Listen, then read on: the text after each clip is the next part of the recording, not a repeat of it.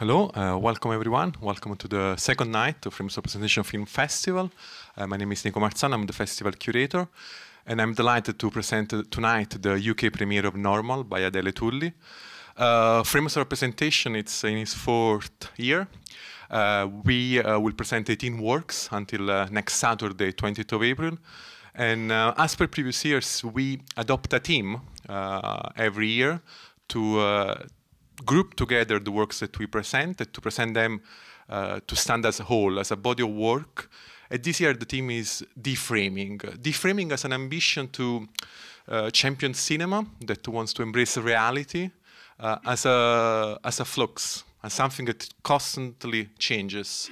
Uh, a cinema that uh, can help us to understand and challenge uh, idea of standardization, uh, rigid categorization of cinematic languages. And it's a festival that looks at the aesthetics in relation to the politics.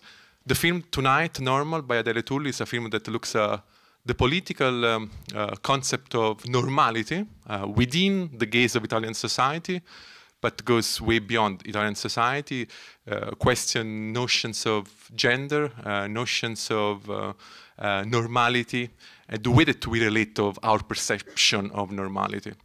Um, Adele will be in conversation uh, after the screening with uh, Lili Hinstin, a new director of uh, Locarno Film Festival, and Dr. Amit Rai, uh, senior lecturer in new media communication at Queen Mary University in London.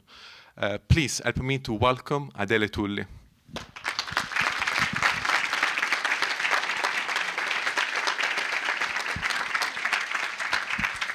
Thank you. Thank you, Nico. Thanks, everyone, uh, first of all, that came uh, to the screening today. I won't say much before the screening uh, because we'll have a chance to chat after the screening. I just want to say that for me, being here tonight is. Um, um, it's it's great actually because I've I've lived in London uh, for quite a while and this has always been my favorite cinema, and and this has always been my favorite festival. So to be uh, showing my own film here is an absolute honor, and uh, and so I feel a bit emotional about that. and uh, yeah, so I'm very happy, uh, very happy to screen the film in London here. So thanks uh, for inviting me and looking forward for the Q and A later. Hope you enjoy. Thank you. Please welcome Adele Tulli, the director, and Amit um, Rai. right, uh, who will uh, talk with us. So thank you to be here. And, and so I'm Lili Hinstin, director of Locarno Film Festival. Um, I will uh, start with the first uh, question to Adele. Um, what was uh, the starting point of your project? Did you want to work on normality, or did you want to work on, on gender? and how they differ. Um, I, the starting point was a PhD research, uh, and the idea was to try to articulate uh, a reflection through, um, you know, the, the means of, uh, of film on, on gender normativity. So in a way, uh, it's kind of together, like what it means uh, normality uh, through a, you know, uh, looking at gender through a, a, a normal, what, is normal, uh, uh, you know, in, in gender roles. so that's the, like the very basic starting point before even I kind of knew what film I was gonna make was try to use filmmaking as a way, as a language, to, to articulate a reflection, a critical reflection on, uh, on heteronormativity. Starting point. and, uh, and then you started to look uh, for a situation that could illustrate uh, your, your, And it was a long, it, it, was a, um, the research was kind of a long process because as a PhD there was a lot of preliminary research uh, before I conceived the film in this way. I actually, um, I actually uh, did a long. Um, long journeys actually through Italy. Uh, there is a when when discussing uh, you know gender and gender norms and, and uh, identity and sexuality issues in Italy, there is a reference that I think every uh, Italian uh, filmmaker has in mind. There is Pasolini Comizi d'amore, love meetings, in which uh, in the 60s uh, he you know, went off through Italy asking Italians, uh, questions about uh, uh, gender, sexuality, and uh, and um, and uh, uh, and so this was obviously the starting point. And somehow I I, I went through um, long journeys using the car sharing platform uh, BlaBlaCar. You know this that you book online and you share a journey with strangers. So the idea was to engage in long conversations with uh, random people, strangers, um, asking them, engaging in long dialogues uh, about, um, you know, everyday um, how gender, in, you know, how gender shape our identities in everyday life, from the moment we are born throughout our uh, life. So this this was uh, sort of the starting point of the research, in a way, uh, kind of collecting many experiences and, and having these long dialogues with with people uh, from north to south of you know different backgrounds. And in, in I didn't know I was going to make this film, and uh, the, I recorded these conversations thinking maybe I would have used them uh, in the film. At the end, I didn't want to uh, use the interviews, but actually those conversations and dialogues were the very starting point for developing the ideas and for starting to think of uh, which scenes to select and how to go about uh,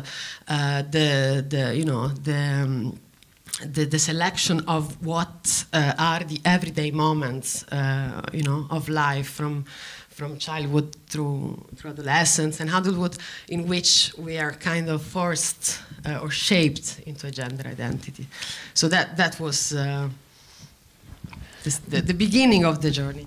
But the very big difference between Pasolini's film and yours is that is uh, is in uh, actually interviewing people, and it's uh, all uh, speeches about every uh, each one own representation, and you choose to to to illustrate it with uh, only very visual situations and and also if if we if we reference uh, to cinema or cin history of cinema also some kind of slapstick almost or very absurd yeah. uh, physical situations no the the approach uh, yes uh, the Pasolini was the reference and the inspiration but the approach was already different already at the stage of uh, of the interviews in the car because Pasolini obviously in the 60s was one of, one of the very first experiments of verite cinema in which he was going microphone in hands um, you know, interviewing people in the street like a vox pop approach that at the time wasn't um, common yet. And, um, and, and uh, even at the stage of uh, dialogues with people, I, um, I differed from, from that approach because I wanted to engage in long uh, dialogues in which we could mutually share our, our experiences. So it was I, I didn't want to just you know ask fast questions, uh, um, you know like a sound bite in the street, but I wanted to engage in long. Um, journeys that allowed us very, you know, very intimate space in which we could have long dialogues in which I could uh, talk about myself as well. Like it was a very mutual sort of transformative process in a way. Like some of the conversations were really, uh, so already at that stage it was, uh, you know, uh, differing uh, uh, approach. But then when I decided not to include uh, any interview was also about the fact that I decided I, I wanted to make a film uh, that was in a, a, sort of immersive experience. So. Um, in which nobody would become a protagonist. So that's why I didn't want voices or interviews because I didn't want to focus on specific individuals' experiences. I wanted to focus on, on the system, uh, no? of the system of norms that uh, that uh, that is beyond and above uh, us. And and so, uh, with interviews, with the pe single people experiences, I would have. Um, gone into a, a more like a conventional documentary approach of having characters discussing their own personal experiences. Here, the whole point of the film, even the fact that you see people but never they never come back. All the scenes you, you only see them you know once and then they go.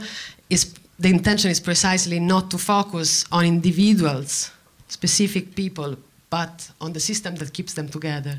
That can be any of us somehow. That's the idea.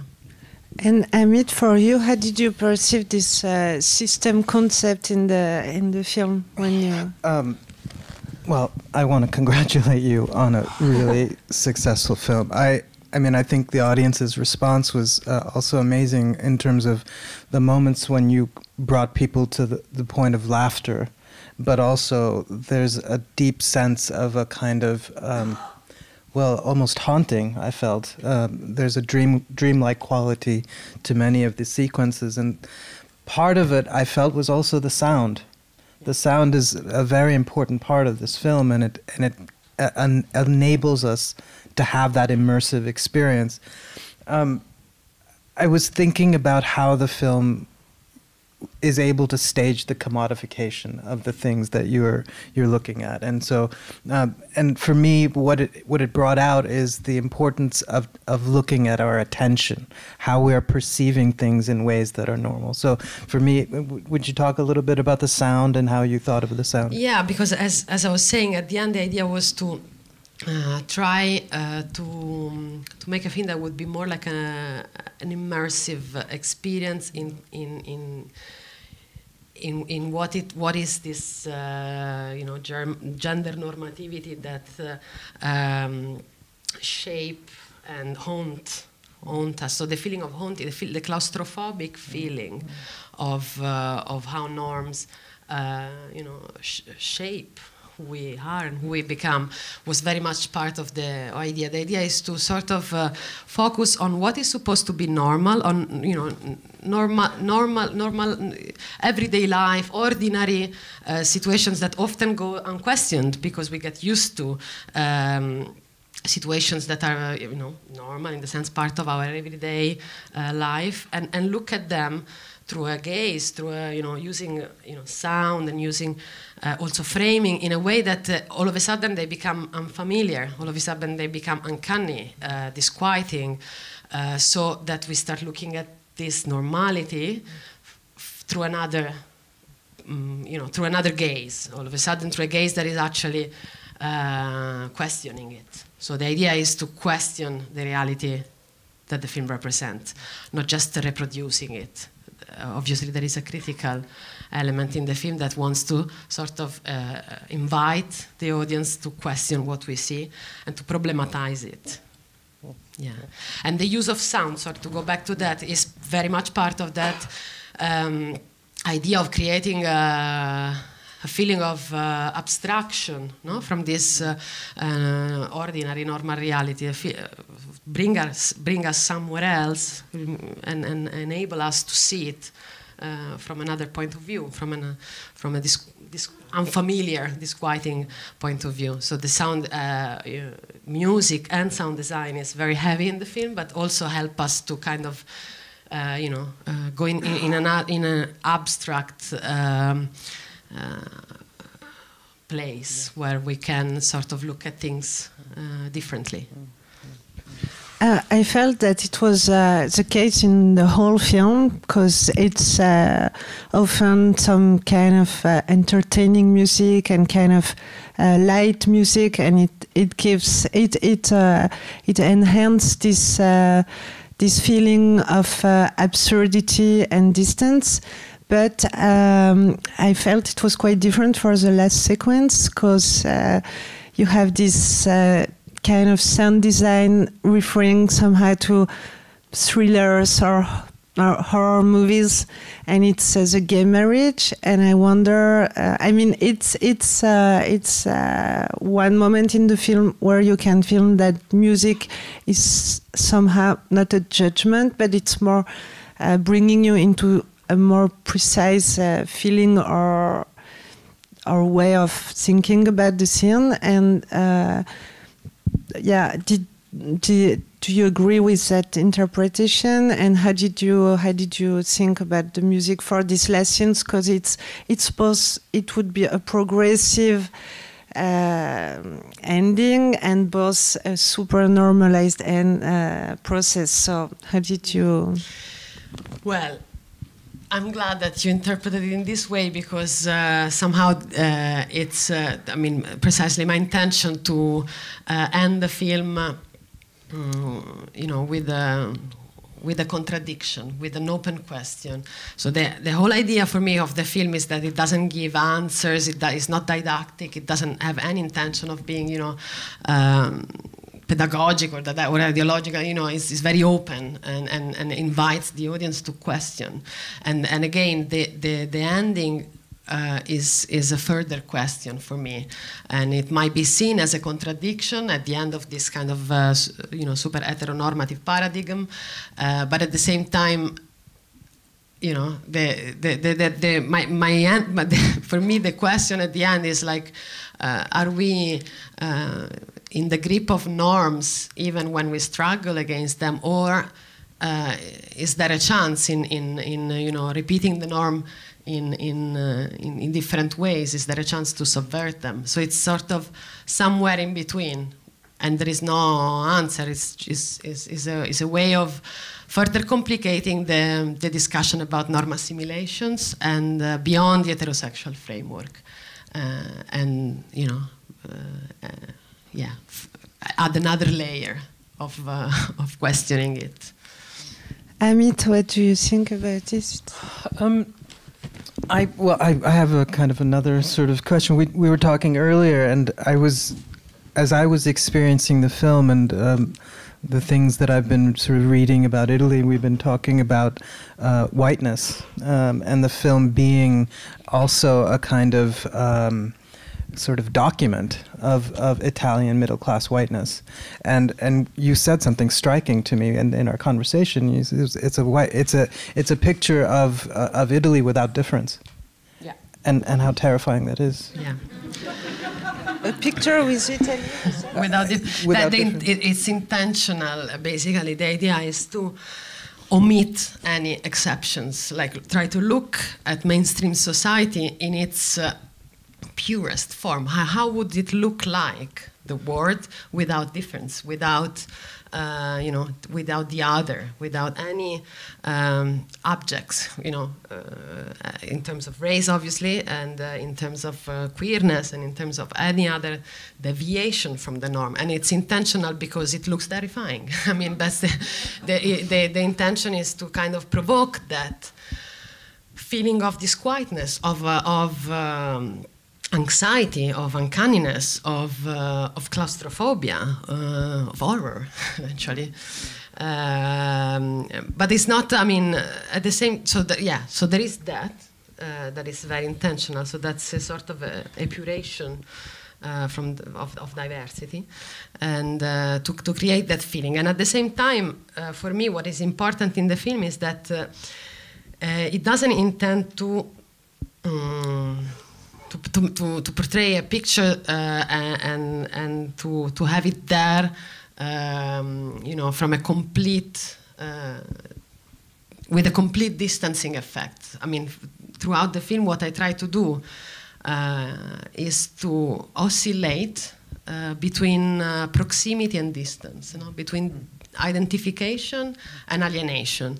Uh, there are moments in which I want us to connect and identify uh, with the emotions uh, because nobody lives in a social vacuum. So I think everybody, in a way or another, can feel, you know, can, can, can kind of connect to, to those kind of norms that have been part of our lives in a way or another. No? So I think that feeling of connection it helps us also to be able to question it. Because if it was just uh, a full-on you know, distancing effect, we probably would not be able to challenge ourselves in watching it. I mean, at least my intention, obviously, that's the intention, and then you never know if, if you succeed with intention. But the intention is to be in that liminal space between, between distance and critical distance so that you can all of a sudden see your uh, everyday, everyday reality through a perspective that is uh, challenging, but at the same time, feel it sometime, you know? So with the girl piercing, you feel you're with her with their desire of pleasing, uh, of being part of that ritual. So that uh, distance and proximity for me is very important because the, what I'm looking for is not just to, you know, look at that uh, horrifying heteronormativity. No, it's more like how, how we are all part of it. Mm. Mm. Yeah. I mean, well, I mean, I was thinking about uh, the question of complicity Yeah. I mean, I think what what the the sort of gaze that you have constructed in the film as a counter gaze. It's a it's a it's a oppositional gaze. It's a resistant gaze, but it's also a gaze that uh, asks us an ethical question. The ethical question is, what is your complicity in this? And I think that's a it's a great accomplishment. I think of the film itself. So.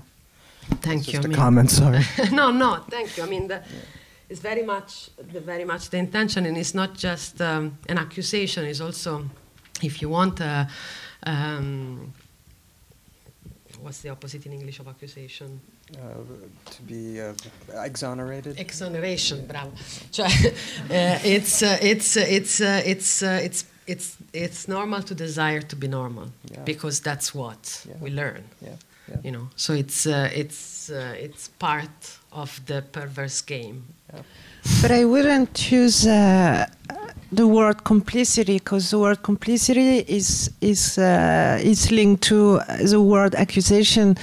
For me, it's more a, s- a way of self-questioning, more than how. It's not that we're com, com, it's not complicity in sense of we, we we would harm society being wanting to be normal, but more we're harming ourselves and our childrens and and. Uh, and over and over again. So it's more like how you can self-question. No, no, but that's why if I, I, I'm saying it's a, for me at the end is a film about desire, like exploring what it what what is it, you know, what, what where this desire comes from, and there is no accusation. No, nobody's accused. No, Nobody's that's scrutinized it, in, a, in an accusation is in an accusatory form. Like the the fact that the desire is so, uh, uh, you know, embedded in a system. and it's very interesting to because the desire you're you're talking about is also very connected to the desire, uh, sexual desire, for and from the other, because it's all related to gender representation. So. Yeah, so that's why the, somehow the, the film has this sort of loose narrative that starts from childhood, and uh, you know we see how you know gender is shaped, uh, and then gradually, when we uh, approach adolescence, we start to see how uh, the interaction with the other gender uh, also uh, starts to play its performative. Um, you know element and and encounters with the other sex so the sexuality comes into you know at the at the party scene in which there is that kind of uh, seduction uh, performative seduction sort of uh, dance and then and then it becomes you know uh, more and more uh, Married. yeah. that's the final accomplishment of the project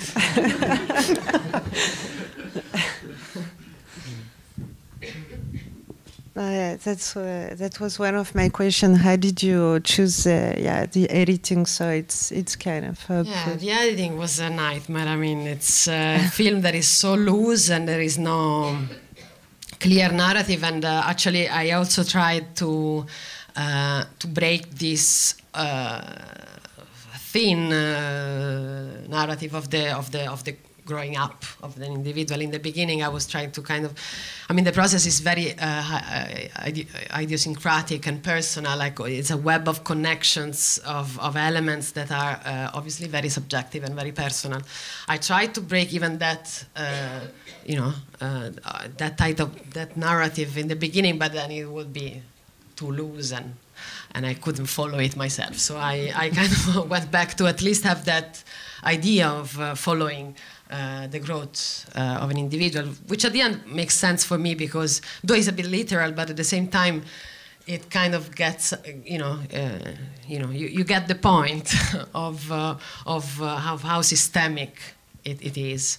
So that was at least a, line to follow in the edit, and and all the other were uh, were were really I say idiosyncratic personal connections in the sense that there is a lot of uh, a lot of elements that recur for me. For example, the idea of um, a trainer that uh, somehow you know there is very little dialogue in the film but uh, the only time you see people speaking they're not uh, talking about you know themselves or something specific to themselves but they are training you know so there is a sort of voice of uh, voice of the system voice of god that there is somehow reproducing certain uh, giving some instructions about things how to get, you know, it, it can be a priest or a gym uh, instructor, but somehow this idea of training and um, and the gestures as well. I mean, it's a film about bodies a lot as well. So you know, synchronized movement, mass movement, uh, the idea of uh, of uh, you know moving in, in, unison and and so, sort of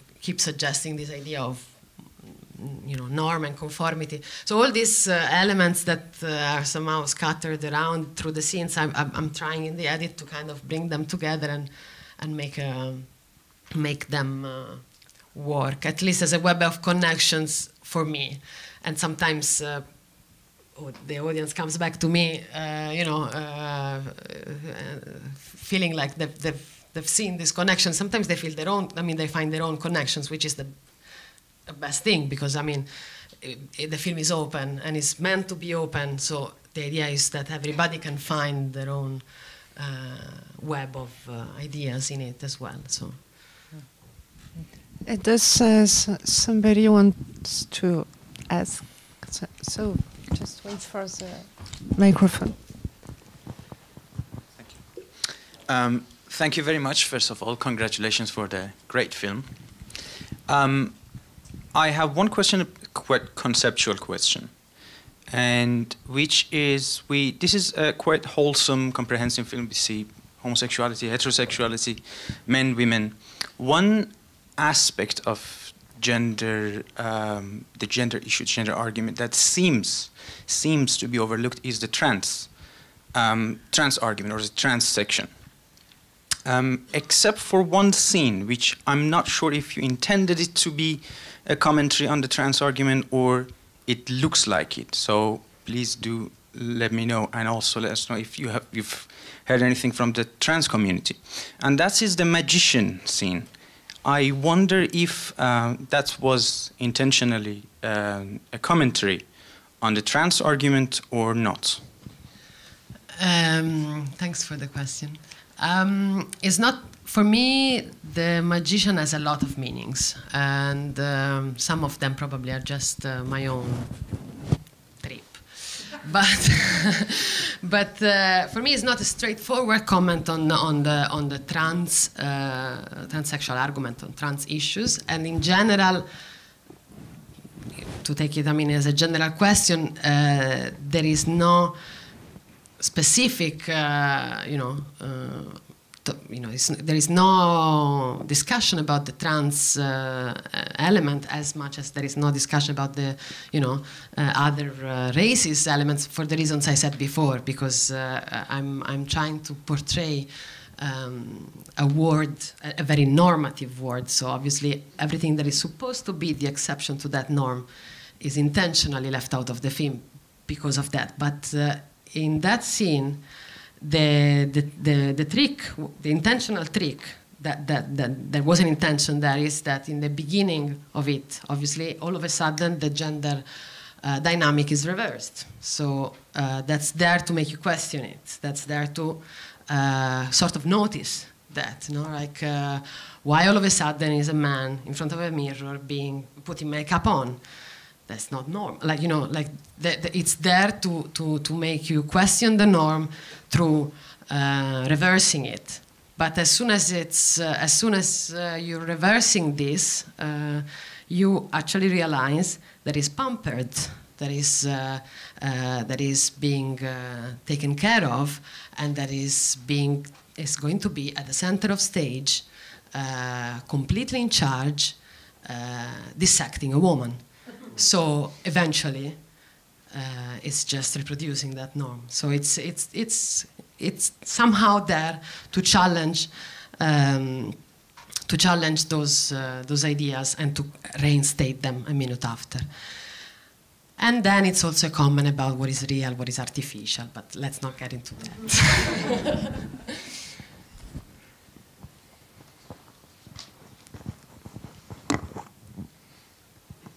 thanks for the film.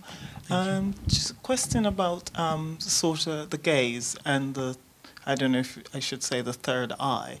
Um, how did you go about that in a sense? How did you do that? Um, the idea that at all times it felt as if the camera was literally at the back of the, you know, the kind of the the, the um, audience, and and we were sitting right there in the frame almost, and then everything else was happening at in the other layers. How did you achieve that? I mean, I'm assuming.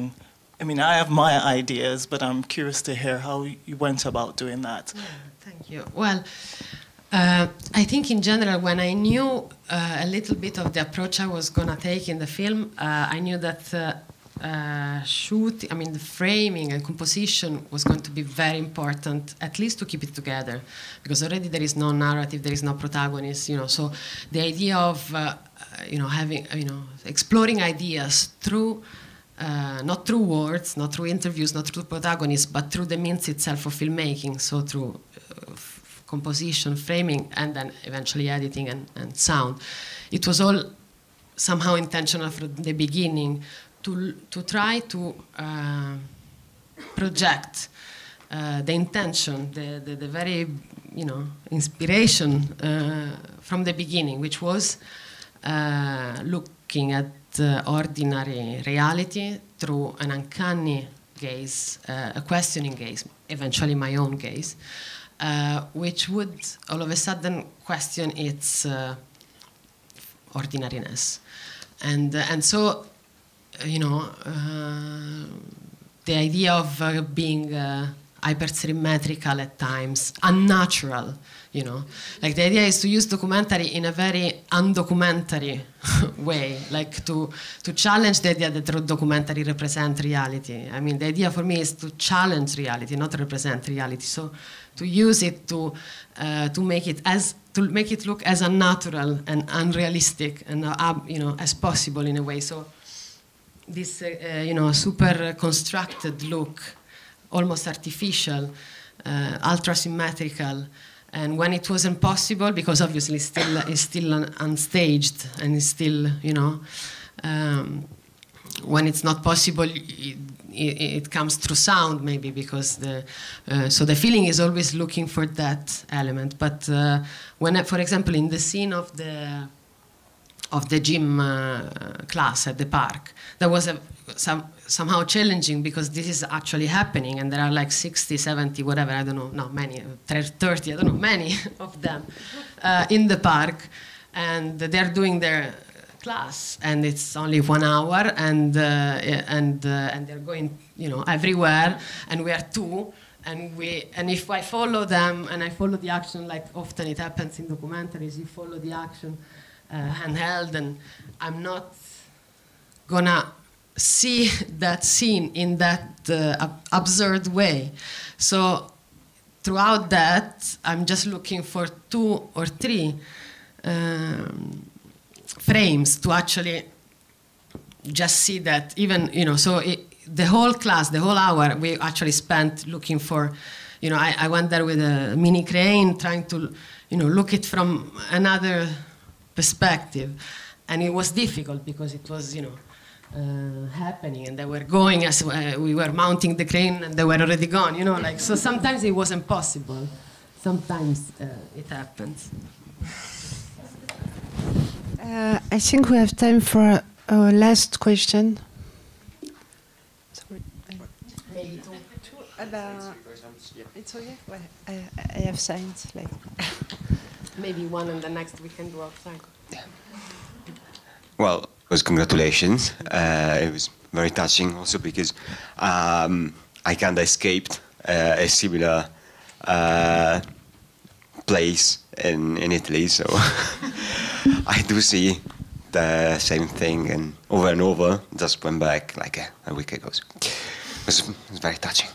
And um, I wanted. I've seen that um, it's been shown uh, in Berlin as well.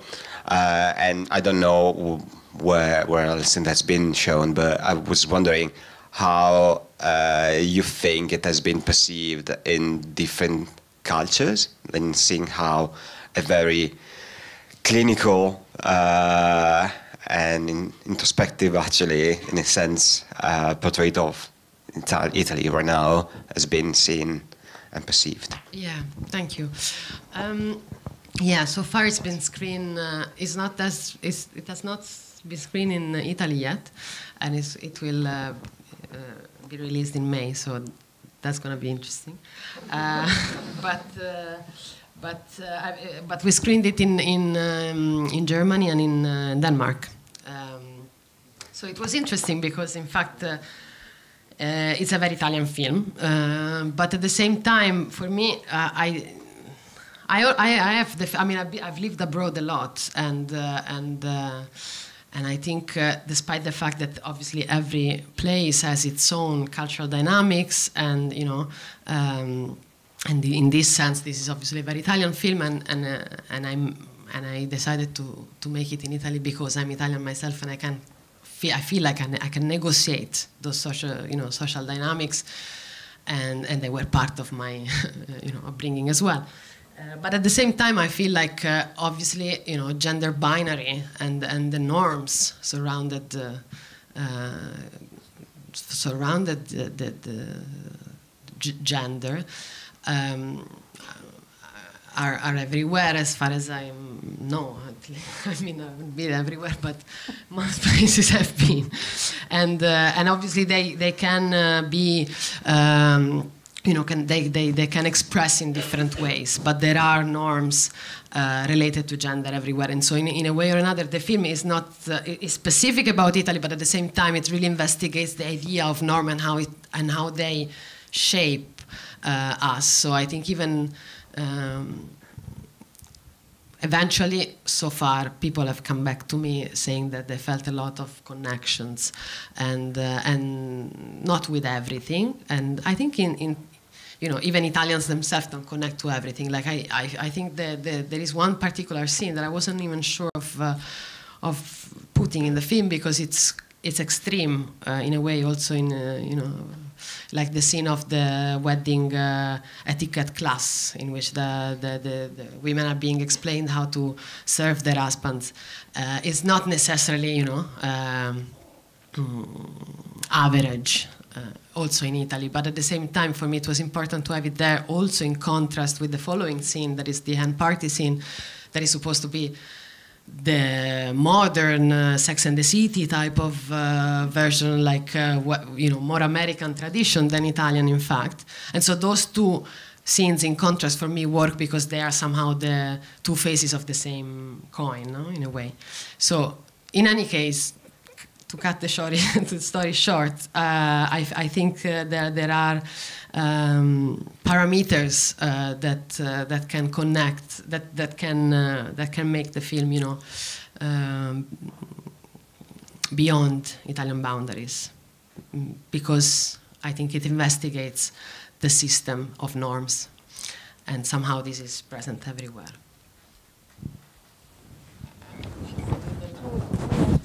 Last question? Yeah, okay, thank you.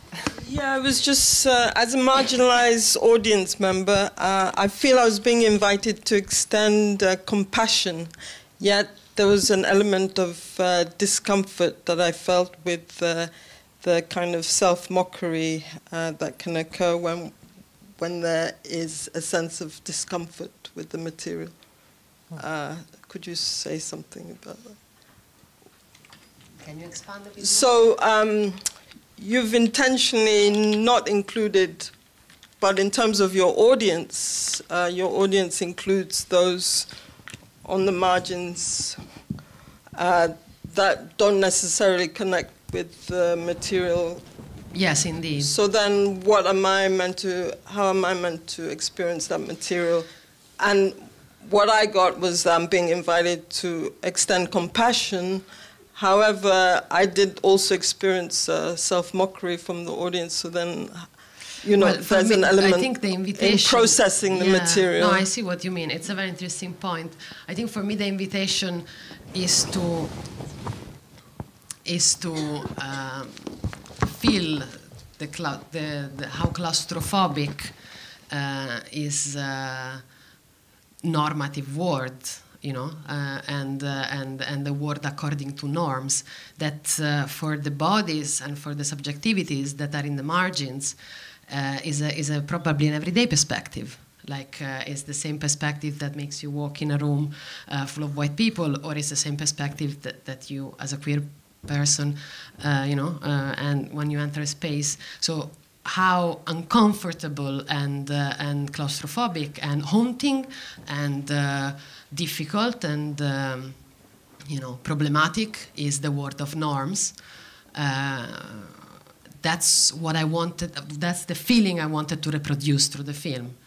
Uh, so I think uh, eventually maybe this is a more familiar feeling to most people in the margins, like uh, the feeling of of looking at it through this through this gaze. But the, the, the gaze that I wanted to sort of reproduce through the film is precisely that.